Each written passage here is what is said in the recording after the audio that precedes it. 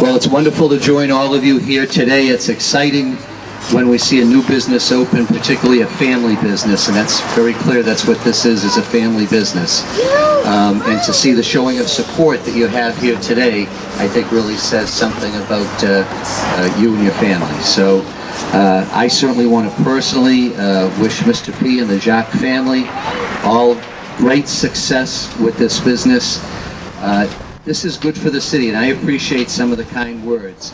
But when we think about the future of our city, when we think about how we grow the economy here in our city, it's nice when a big company comes to the city, but really the foundation of the future economy here in the city is small businesses.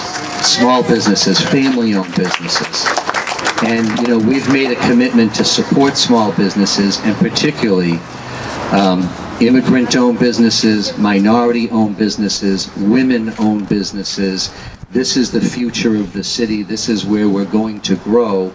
And I know that when we have small business people like the Jacques family and they enjoy success, they're going to reinvest in Brockton. They're not going to go someplace else. They're going to stay here. So we appreciate that. So it's, uh, it's a great thrill for me to be here and to share this special day with you and wish you all the best.